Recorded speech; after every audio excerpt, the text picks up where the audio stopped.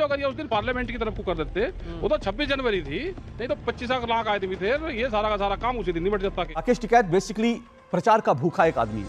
आज हम इस राकेश टिकैत का कच्चा चिट्ठा भी खोलेंगे। राकेश टिकैत वो है जिसने राम मंदिर का विरोध किया था। लेकिन ये राकेश टिकैत वो है जो औरंगज़ेब की मजार पर माथा टेकने गया था। कितनी करता मैं नहीं जानता।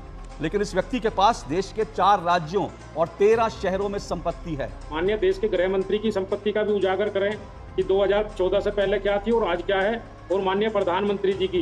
बढ़िया बात कही। इस भारत के प्रधानमंत्री के पास भारत के प्रधानमंत्री के पास अपनी एक गाड़ी नहीं और जो किसान नेता है उसके पास गाड़ियों का शोरूम है। लगती है कैसे एक किसान कैसे एक किसान लग्जरी गाड़ियों का शोरूम खोलता है। एक तस्वीर दिखाइए आप में से। एक भी नेता 1200 किसानों का दर्द जानने के लिए पहुँचा था। दंगाई है। बंद कीजिए दंगाई की आवाज़ बंद कीजिए इनकी आवाज़। ये दंगाई है। बंद कीजिए दंगाई की आवाज़। जी राम दोस्तों तो स्वागत है आपके अपने चैनल सालिम दुनिया में। तो आज की एक और वीडियो होने वाली बहुत ही शानदार, क्योंकि आज की वीडियो में एंकर अशोक श्रीवास्तव ने आज राकेश टिकैत को डिबेट में इस तरह एक्सपोज किया है कि वीडियो देख के आपको बड़ा आनंद आने वाला है। हालाँकि मैं तो ये कहना चाह रहा हूँ कि जो राकेश टिकैत के समर्थन भी है, वो भी अगर इस वीडियो को देख ले तो उनकी भी आँखें खुल जाएगी, क्योंकि आज डिबेट में अशोक श्रीवास्तव ने राकेश टिकैत के ऐसे पोल पांडे खोले कि वीडियो देख के आपको भी बड़ा आनंद आने वाला है। तो आज की ये वीडियो बड़ी मज़ेदार एंड फनी होने वाली है। आपसे अंत के वीडियो को आप अंत तक ज़रूर देखें और अगर आप हमारे चैनल पे पहली बार आए तो हमें एक लाइक सब्सक्राइब कमेंट ज़रूर कीजिए। चलिए शुरू करते हैं। बांग्लादेश में तो ये बताएगी नहीं यहाँ की सरकार क्या लग रहा भाई बांग्लादेश में पंद्रह साल से जो आदमी सत्ता पे काबिज है विपक्ष के नेता साहब जेलों में बंद है तो यही तो और सोचता है। अब वे सारे बंद है। उन्हें भागने कहाँ दिया? सारे बंद है। यही हाल यहाँ होगा। ये ढूंढे नहीं मिल देंगे जनता बहुत गुस्से में ये तो उस दिन जब ट्रैक्टर लेकर दिल्ली गए, ये उन्हें बहका दिया कि लाल किले पे चल जाओ, अगर ये उस दिन पार्लियामेंट की तरफ़ को कर देते, वो तो 26 जनवरी थी, नहीं तो 25 लाख आए थे ये सारा का सारा काम उसी दिन निबट जाता केस। ये शर्मनाक बयान राकेश टिकैत का है, और सिर्फ़ वो इतने पर नहीं रुके। उन्होंने इसके बाद भी कुछ खुलासे किए, मुझे नहीं मालूम वो खुलासे कितने सही हैं। वो बड़बोलापन राकेश टिकैत का था, या फिर दरअसल उन्होंने कुछ खुलासा किया है। लेकिन राकेश टिकैत ऐसा अकेला आदमी नहीं है। इसके पहले राकेश टिकैत ने तो अब यह बयान दिया है। इसके पहले देश में कांग्रेस के कुछ नेता, समाजवादी पार्टी के कुछ नेता इसी तरह के बयानों को दोहरा चुके हैं कि भारत को बांग्लादेश बनाना है। भारत में भी जो बांग्लादेश में हुआ, उससे रिपीट करेंगे। अच्छा जहाँ तक राकेश टिकैत की बात है, वैसे ये भी बता दूँ मैं, क्योंकि ताज़ा बयान राकेश टिकैत का है, उसी संदर्भ में हम आज ये चर्चा भी कर रहे हैं। राकेश टिकैत बेसिकली प्रचार का भूखा एक आदमी है। उस आदमी को हमेशा टेलीविज़न पर, अखबारों में अपना नाम छपने की उसकी हवस है। वो हर चीज़ पर बयान देता है, हर चीज़ पर बयान देता है। उसने पिछले दिनों अग्निवीर पर बयान दिया। उसने पिछले दिनों जब वक्फ बोर्ड आया, तब उसने कानून आया, तब उस पर बयान दिया। उसने ओलंपिक पे बयान दिया, विनेश फोगाट पे बयान दिया। हर वक्त उसकी आदत है कि बयान देने की, उसको लगता है किसी तरह से मीडिया में उसको सुर्खियाँ मिल जाएँ। लेकिन उसने पिछले जितने बयान दिए थे, वो बयान शायद उसको सुर्खियाँ नहीं दिला सके। और इसलिए उसने सोचा, बांग्लादेश पे इस तरह का बयान दिया जाए, बलात्कार पे बयान दिया जाए, कुछ सुर्खियाँ मिलेंगी। सुर्खियाँ तो ज़रूर मिल रही हैं। लेकिन आज हम इस राकेश टिकैत का कच्चा चिट्ठा भी खोलेंगे। आपको इसका असली चेहरा भी दिखाएँगे। क्योंकि हर ऐसे दंगाई का चेहरा देश को जानना, समझना ज़रूरी है।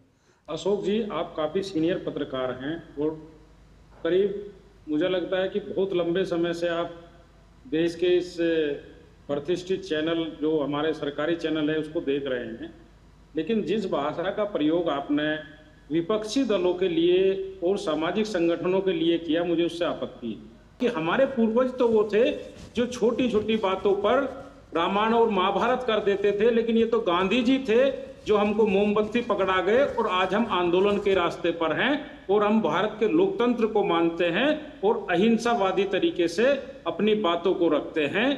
और आप दंगई और क्रोसिन मैन और ये कहना उचित नहीं है क्योंकि हमारे जितने आंदोलन होते हैं, वो सब शांतिपूर्वक होते हैं और उनको गांधीवादी तरीके से हम करते हैं। आप बोलिए, आप मुझे कहिए बदतमीज, आप मुझे कहिए दंगाई, मुझे कोई एतराज़ नहीं है। लेकिन मैं फिर कह रहा हूँ, तीसरी बार कह रहा हूँ, जो इस देश को बांग्लादेश बनाना चाहते हैं, मेरे लिए वो दंगाई थे दंगाई हैं, दंगाई रहेंगे, मैं ठोक के उनको दंगाई बोलूँगा। आपको आपत्ति हो तो आप मुझ पर मुकदमा कर दें। आपको आपत्ति हो तो आप मेरे घर जो है गुंडे भेज दें, आप जो मर्ज़ी कर सकते हैं। लेकिन मैं दंगाइयों को दंगाई ही बोलूँगा। अब आप ये कहकर कि भाई, हम गांधी, हम तो गांधी ने मोमबत्ती पकड़ा दी, नहीं तो हम तो जो है मतलब पता नहीं क्या कर लेते। तो वो, ये लोग एक्सपोज कर रहे हैं देश के सामने।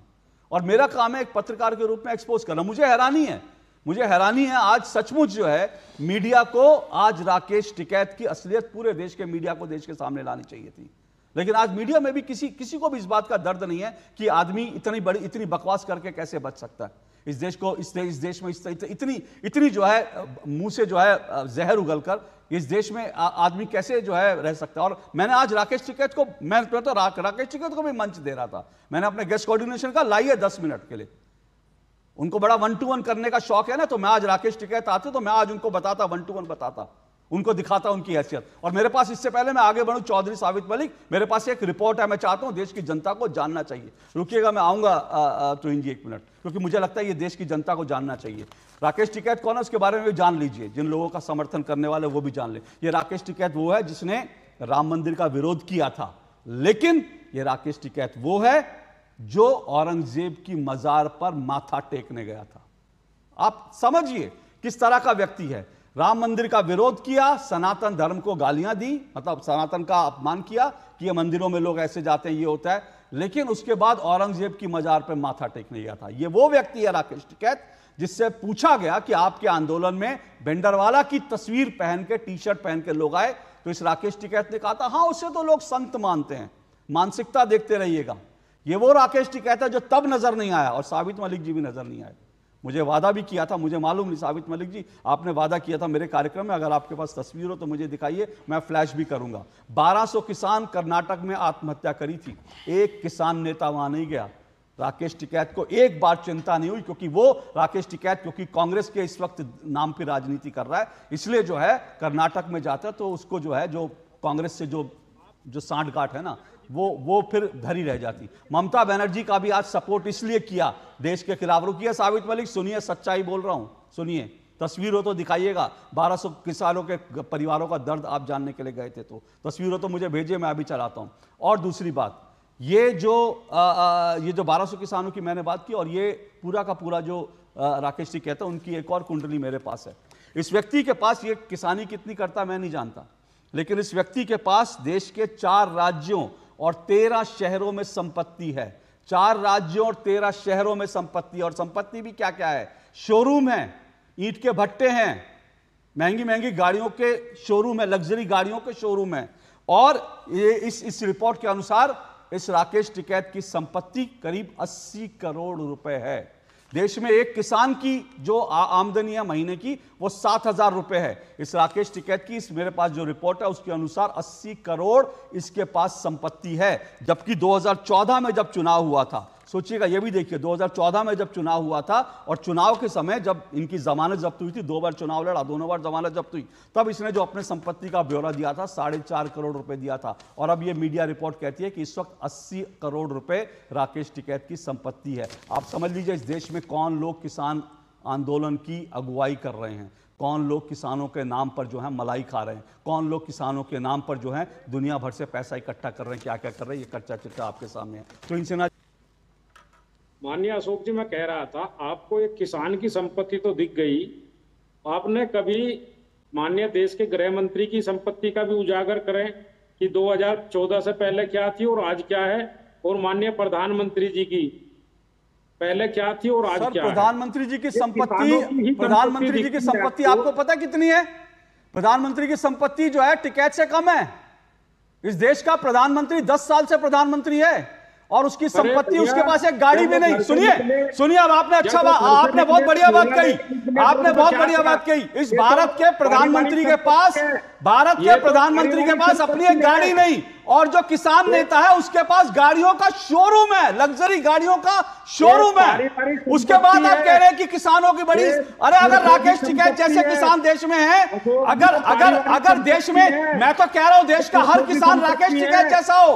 मैं तो कह रहा हूँ देश का हर किसान। राकेश टिकैत लेकिन राकेश टिकैत राकेश टिकैत। ने याकूत संपत्ति वो तो कैसे कमाई इसके बारे में बाकी किसानों को भी बता दें। राकेश टिकैत बता दे बाकी किसानों को को भी कि चार करोड़ से अस्सी करोड़ रुपए कैसे थे। जाते हैं दस साल के अंदर? चार करोड़? से अस्सी करोड़। देश के किसानों को बताइए फॉर्मूला चार करोड़ से अस्सी करोड़ दस साल में कैसे कमाई होती है? बताइए? कैसे एक किसान कैसे एक किसान लग्जरी गाड़ियों का शोरूम तो खोलता है? कैसे एक किसान कि बैंकेट हॉल खोलता तो है ये फॉर्मूला बताइए। बताइए। बताइए देश को बताइए देश को बताइए देश को बताइए देश को। और एक तस्वीर दिखाइए आप बारह सौ किसानों का दर्द जानने गए थे। साबित मलिक चैलेंज कर रहा हूँ। एक तस्वीर दिखाइए आप में से एक भी नेता बारह सौ किसानों का दर्द जानने के लिए पहुँचा था। एक तस्वीर दिखाइए आप सब लोग डबल स्टैंडर्ड हैं। सिर्फ़ भारत में दंगा करना चाहते हैं भारत में दंगे करवाना चाहते हैं। सिर्फ़ इसलिए क्योंकि आप बैठकर सत्ता की मलाई खाना चाहते हैं। आप दंगाई हैं बंद कीजिए दंगाई की आवाज़ बंद कीजिए इनकी आवाज़। वीडियो में अंत तक बने रहने के लिए बहुत बहुत धन्यवाद। उम्मीद है आपको ये वीडियो पसंद आई होगी। अगर आपको ये वीडियो पसंद आती है तो एक लाइक कीजिए कमेंट कीजिए। और अगर आपको एंकर अशोक श्रीवास्तव के बारे में अपनी कुछ राय रखनी है तो कमेंट सेक्शन में ज़रूर बताइए। हम आपसे जल्द मुलाकात करेंगे नेक्स्ट वीडियो में।